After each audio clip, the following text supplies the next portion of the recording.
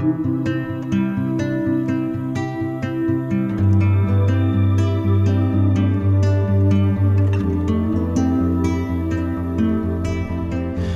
is a note to the new year.